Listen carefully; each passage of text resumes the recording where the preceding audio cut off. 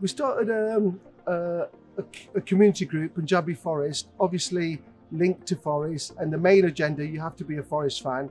But basically, we're reaching out um, to any gender, race, color, um, doesn't really matter, and and it's about diversity and inclusivity, and and the, we want to reach out to people who may be anxious about coming to games. We meet up before games.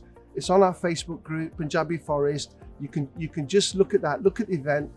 Um, you can meet us before the game if you're anxious about coming, or you need someone to come to the game with, or want to talk to the game about people. Um, you, you, can follow our group and, and join us.